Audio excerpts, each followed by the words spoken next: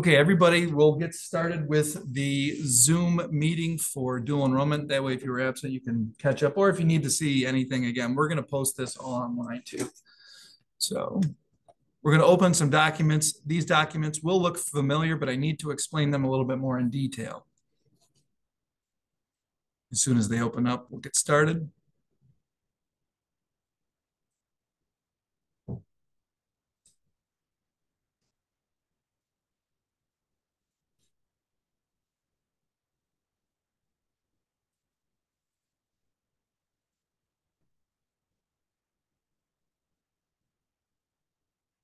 Okay, this again looks familiar to you because you turn it in. You have to turn these in every semester.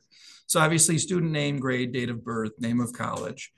Now keep in mind, name of college, you don't have to dual enroll at just Macomb. You can dual enroll in any public university in Michigan, Oakland University, University of Michigan. But keep in mind, you are capped at $725 per class. So the reason a lot of people go to Macomb is because $725 is cheaper um, the cheapest way you can go about it is go to a community college. But if you let's say you want to go to Oakland, Oakland's going to cost you about twelve or thirteen hundred per class. So you'd have to pick up the remaining balance after 725. So that's why a lot of people choose to go to Macomb. So this is the Macomb dual enrollment application. I know this only says fall and winter, but you can dual enroll in the spring and summer. Um, if that's of interest, you should have already talked to your counselor because I know that's starting soon. I know there's no spot for it, but you can just I, am going to update this document to say fall, winter, and spring, summer. A check in the box indicates after discussion whether the high school counselor, after discussion with your high school counselor, not to have this class included on your high school transcript, transcript towards graduation. So you have a choice of whether or not to put the dual enrollment class on your high school transcript or not. That is important.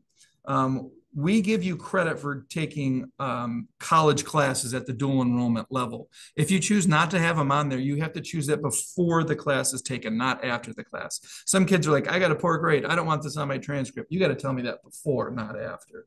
So again, that's why we're going over this. There's a lot of stuff on here. We will talk about how classes, you get a real grade if you are taking a requirement for graduation at Anchor Bay High School. I will explain. If you're taking economics over at dual enrollment and you get a B, you're going to get a B on your high school transcript for dual enrollment economics. That will be incorporated into your GPA.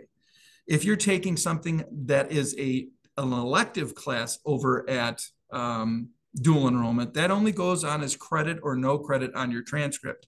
Credit or no credit on your transcript is based on if you pass it, you get credit. If failed, no credit. Credit and no credit does not hurt or help your GPA. It is not included in your GPA. So if you're taking intro to mythology at dual enrollment, which I know is a requirement for a lot of uh, Michigan transfer agreement stuff, that's considered an elective anchor bay. That's a credit, no credit situation. If you're taking economics over there or an English class in your senior year for your senior year English or your senior year math, that will go on as a real grade. If you're not sure if it goes on as a real grade or not, you have to tell your counselor. You can ask them. And again, where you've seen this paperwork, filed the dual enrollment application by the second Friday in May. In fact, you should be turning them in now. April 27th was the beginning for dual enrollment. Um, so dual, excuse me, March 27th was the opening for dual enrollment, not April 27th. My apologies. So you can start signing up now. That way you don't have to worry about waiting lists, which we will talk about. The second bullet point, class, uh, college classes cannot conflict time-wise time with classes here at the high school. We always recommend no class should start before 3 p.m. at dual enrollment, but we realize you have a one o'clock sometimes. Just don't have a one o'clock here at Anchor Bay High School and a one o'clock at dual enrollment. The tough part about that is you guys have already experienced that. Our semesters don't line up time wise with the high school and Macomb. Macomb starts their second semester on January 10th. We, Anchor Bay High School, does not start their um, our second semester here until January 31st. A lot of kids sign up for a second semester dual enrollment class at one o'clock and expect to start it on January 10th. The problem is you still got a one o'clock here if you didn't have dual enrollment already at Anchor Bay High School. So there's a two to three week gap. Has anybody experienced that issue? No, nobody has. The nice thing is a lot of things offered online as well. So online, I'm telling you, that's that's a nice way to go. Students are eligible to take classes in core subject areas like math, science, English, social studies, world language, computer science. Um, the one restriction is courses must not be offered by Anchor Bay School District. That's a state law. So, for example, we have AP psychology here at the high school. You cannot take psychology 1010 via dual enrollment. It's the same class. The state will only pay for you to take it at one facility, not two facilities. I know early college, I know some of you are a little bit different. That's a different law. But dual enrollment, if you're in psychology here, AP psychology, if we offer it here, you cannot take it over there. Some classes that um, we don't have the equivalent for that I would recommend, economics. We do not have an AP economics here, so you can take dual enrollment economics. And then that dual enrollment economics will qualify as your dual or as your economics class here. Make sense? Question? No question. All right. If you have a question, just raise your hand and stop me. All right. Um, the student is eligible to take 10 college classes, which you already know, if the course fulfills a Michigan Merit Curriculum graduation credit towards graduation, the grade will be included on the student's transcript and counted GPA.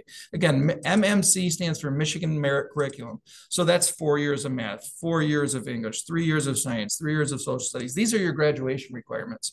If it fulfills a graduation requirement, it goes on the transcript and is counted towards the GPA.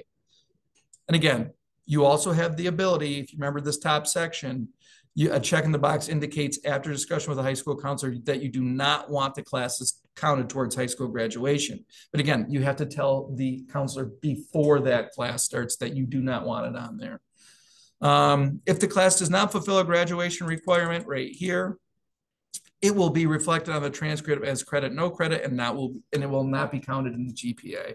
If you've already been in dual enrollment, you'll see CR for some of your classes and you'll see a real grade. The counselors do that at the end of the semester. They put in either CR or enter your real grade.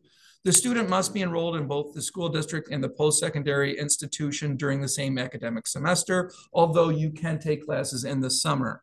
The number of classes must equal six. And if you're taking classes in the summer, that will count as one of your fall six. So if you take two in the summer, that would go on your fall six schedule. So when you're like, okay, I got two in the summer. In the fall, that means I can only take four because two plus four equals six. Does that make sense? If I take something in the summer, it's counted on the fall schedule. You're going to be like, I want two in the summer and two in the fall. That's great for dual enrollment. You could go two in the summer dual enrollment, two in the fall dual enrollment. So that's four. You still need five and six. So you would still need two high school classes. So you could do two summer, two fall dual enrollment, and then two high school. Does that make sense? Everything's got to add up to six. There's an equation that allows us to reduce six classes based on the large size of a credit hour, which we'll go through. Like if you have a biology class that's a six credit dual enrollment class, there's math behind us being able to reduce your high school schedule and not having to have six. But we'll go over that in a minute. The student must maintain regular attendance in all classes within high school and college. The student must provide verification of the college enrollment as requested. I'm going to tell you right now, I've had kids skip. By the way, can you shut that door? The bell's going to ring. I've had kids skip classes during their dual enrollment and never went to dual enrollment. If you fail a dual enrollment class or do not get credit, you have to pay for that class. You have to pay the district back. Um, that's why we give you this and we have your parents sign it. We've had a lot of kids just skip and not go. And then we find out, and then I'm going to say, hey, I need to see verification that you've been going. If they can't provide that, you're going to be, it's not going to be good. So make sure you, um, make sure you're going. The student must provide verification. The student must leave Anchor Bay uh, High School's campus once the student has completed all high school classes for the day. So, and the, uh, before every semester, we're going to call you down for next year, you know, this upcoming May and say, listen, we know the schedule. We know what your schedule looks like. You know, the classes you want here are first, second, third, and fourth you can schedule your dual enrollment classes fifth and sixth hour. Or some people like, you know what? I want a morning dual enrollment class and I want the morning off at the high school. That's fine. Your counselor will go over that in May, late May, once we have your schedule ready. We will build your schedule around dual enrollment. We can put dual enrollment anywhere we want in your six hour day. You just can't be here during that dual enrollment hour. That's why we try not to do it like third and fourth hour because you have to technically leave the building. That is an administrative rule that you have to leave the building during that day. They don't want you in the library. They don't want you working in the commons when you're supposed to be in dual enrollment. So again, if you don't have a dual enrollment hour, you're expected to leave during that time. If a student drops or is dropped from a course or fails to receive college credit for a course, they, be, they will be responsible for reimbursement to the district for the class. Also, the student will not be eligible to enroll in the future dual enrollment courses until reimbursement has been made to the district. What does that mean? You fail a class, you're paying for it. No, no questions asked. You're going to get a bill from our billing department. So make sure you're not. You also got to watch the drop and add period. Typically, you have five days once the class starts to drop an add. You do not drop an add without going through a high school guidance counselor. We have to email them and contact and say, "Hey, Kaylee Doll's going to drop an add." You know, sorry for using your name. I'm just using an example. She's going to drop and add this. She's going to drop this, and she's going to add this. That's okay, but your high school counselor has to know that do not register for a class that you did not have your high school counselor being aware about and turning that in. Derek Yaden to counseling, please. Derek Yaden to counseling. So again, make sure that your counselor knows every move you're going to make because they have to approve it and they have to indicate to Macomb they're going to pay for it. Um, for the 2023-24 year, students are allotted $725 for tuitions, fees, and books. Any amount above this is the student's responsibility for each class. So most classes are between five and 600. Come on in, are you here for dual enrollment? Yep, come on in, just have a seat. This is being recorded, so if you missed the first 20 minutes, it's on, it's gonna be on Zoom we'll put it on the website. So again, $725 for tuitions and fees. If your class is $500, you can use the remaining $225 for books. Most of you are probably used to you, the bookstore process already. Yes, we're used to the bookstore process. I know it's a pain in the butt on the front end, but once you get used to it, it's, uh, yeah, she's saying, yeah, that's very true. Um, once you get used to it, it's it's not bad. Anchor Bay School District is billed directly by the college. You should never be uh, reimbursed for anything. In the old days when dual enrollment started, you used to have to pay for the class, pass it, turn in the bill to us, then we, we, we would give you a check after it was all said and done. That doesn't work anymore. The state says we have to pay for the class on the front end up to $725. If there's an amount above 725, you guys have to pick up the rest, you or your parents. So again, you should not be getting reimbursed for anything, not books, nothing. So when if you're in dual enrollment, you sign up for your new enrollment class, you go to the bookstore and say, how much money do I have for books remaining? And they will tell you. So again, these are the basic rules. You guys should already know these. This is the document that says a student that does not receive college credit under the dual enrollment legislation laws re required to repay the school district. This is what goes to your parents. Your parents sign this. I keep this on file. We actually get audited on this. The state comes in and goes, Mr. Fowler, I need to see for this student, I need to see this document because you got to make sure we, the state has to make sure you're aware you're going to pay for class if you don't get credit. So that's this document. There will be extra copies of this document when we go back in about five or 10 minutes. Any questions on this document? And I know a lot of this is redundant. A lot of this is like, Mr. Fowler, we already know this great. I just want to over explain some things. So this is the RMCD guide. There are a couple of different versions. Um, you're used to seeing this. Uh, you know, uh, I email everybody this. The most important class, um, excuse me, most important column you should be paying attention to is column H. Is this class approved for dual enrollment? It must say yes. You start on this document by looking yes or no. The state does not pay for every class that Macomb provides. Why? Here's a great example. AP psychology we offer here at the high school. The school, uh, the state is not going to pay for you to take dual enrollment psychology because we have AP psychology here. This column will indicate whether it's already been approved or not. So we've already done the work for you. You just got to sign up for a class that says yes. So again, make sure it says yes. If it says no, you cannot take it. Some kids try to slide a class that says no on me. And then I start looking at everything you sign up for. Normally, I don't question what you sign up for because I think most of you guys follow the rules. But if you start signing up for no classes, I know you haven't looked at that document. And then I'm going to have to start really looking over everything. And I have a lot of questions. Uh, I already know what's approved for, for dual enrollment not. I'm the one who actually had to fill out the column H. So I see a lot of them start going through. And I'm like, yeah, I already know that one's good. That one's good. That one's good. But if you start putting classes down for no, I know you haven't looked at this. I'm going to say you need to go back and look at this because this is not an approved class. If you're worried about switching classes, always go to this first, make sure it's approved. Column G, this is the second to last column. This is as equally as important as column H. Column G, does it meet a Michigan merit curriculum graduation requirement? So MMC stands for Michigan Merit Curriculum. These are your graduation requirements, you know, four years of math, four years of English, three years of science, three years of social studies. This is what this means. So you could take this class for a math related credit in your senior year. How do I know it's your senior year? Because you have algebra one, you have to do for math, you have to do geometry, and you have to do algebra two. Once you get in your senior year, your math related class is 12th grade. You could take anything that says math related and yes in column H. So again, you start looking at these. Some of these say no. If you'll see column H, this one says no. So introduction to anthropology, is that a uh, Michigan merit requirement? No. So if it says no, this is what you're going to get a CR on in your transcript.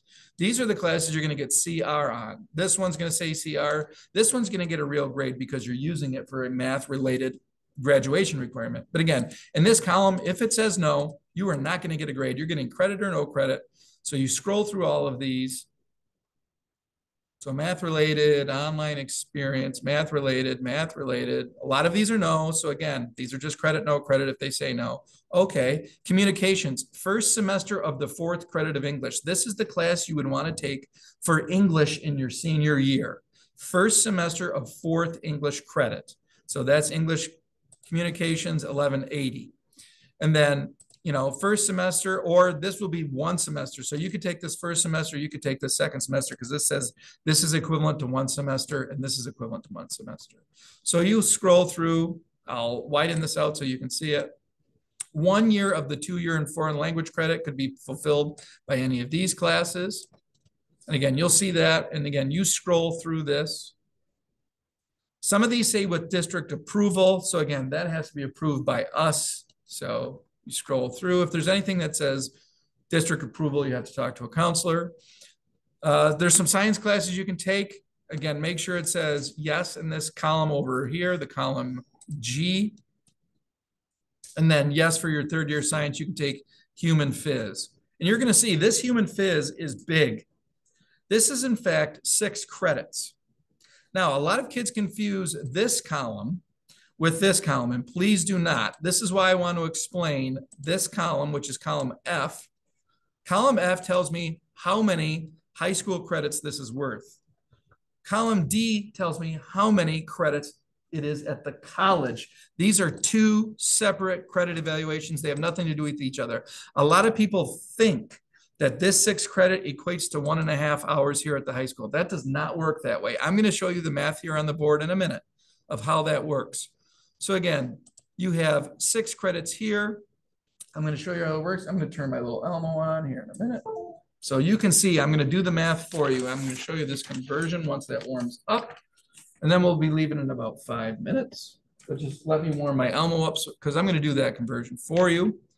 Um, but again, all of these columns are very important. Make sure you always list the college, class, and the code like WAEHS 2085 when you sign up for classes. I'm going to switch to my Elmo here. So you're going to see how I do the math for a class. Let me close out all my screens. I want the people on Zoom to make sure that they understand this as well. Just give me one second. And the class I'm going to focus on is this six credit class, Biology 1710, or sorry, Biology 2710. I'm going to focus on this. This is a six credit college class. You're like, Mr. Fowler, how does that apply to high school? So let's go to our ladybug. All right. So here's a six credit college class. Here is the, I'm going to shine the light on this a little bit better. Can you guys see that? Yeah. Okay. So this is a six credit college class. You're like, Mr. Fowler, six credits. I only have six credits in the year at the high school. High school credits and dual enrollment credits are not the same thing. I'll show you how we do the transfer. So first things first, a full college semester is considered 12 credit hours at the collegiate level, not high school. So when I take that column B, I took that six credit class. When I took that, I go six out of 12. That is equivalent to a half, right? We all took math, right? This is equivalent to half of your Anchor Bay High School schedule. So one six credit class could be equal to half of your Anchor Bay schedule. Well, there's six hours in a day at Anchor Bay High School. Half of that would be three. So biology 2710 is a six credit college class. Six divided by 12 is a half. So this could equate to three Anchor Bay High School classes. Remember, you got to have six total classes. This can count as three because it's such a big class. So we do the math on that. You know, um, here's another example. Let's say you had a four credit class. I take that and I divide it by 12. Sorry, my four is not very good. So that is worth one third of your Anchor Bay High School schedule. Okay, let's see mathematicians in the room. What is one third of your Anchor Bay High School schedule equivalent to? Two. Thank you. How did he get that? He's like, one third. Well, there's six hours in a school day. Obviously, if you do a little math, six divided by three, that is worth two Anchor Bay High School classes. So how am I doing that? I take four divided by 12. I get the fraction of one third. That is equivalent to one third of your Anchor Bay High School schedule. Now, the tough part is when you don't have a nice even number. Here's a great example. I'm running out of room to write. Let's say you had a three credit class at um, dual enrollment. Three divided by 12 is one fourth. You're like, oh man, one fourth of a high school schedule times six. You're like, oh, that's worth like one and a half high school classes. Well, what is how do you round up? Do you round down? Now, the state is very open minded. They said if you're in a regular class, you can round this up. If you're driving there, you can include in this drive time.